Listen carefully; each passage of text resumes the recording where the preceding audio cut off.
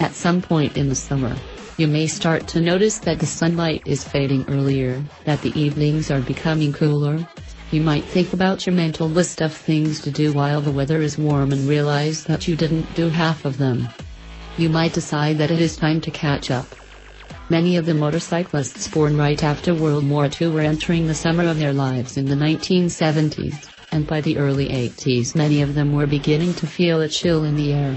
Some decided to indulge in one last hurrah before settling down and raising a family. Some went out and bought a Honda CX500 Turbo. When it was introduced in 1982, the CX500 Turbo was, and still is, one of the most futuristic motorcycles ever made. It not only featured turbocharging, ramming extra fuel, air mix into the engine to increase horsepower, but also computer control of the turbocharging, fuel injection, ignition and numerous other advanced features. It was not only a technological feat, but a technological feat in a beautifully crafted package.